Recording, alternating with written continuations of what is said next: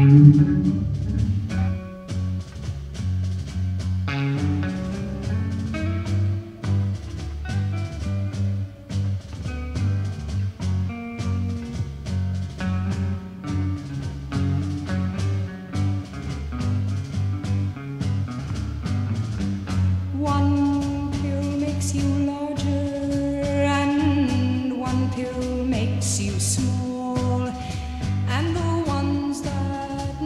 forgives you don't do anything at all. Go ask Alice when she's ten feet tall.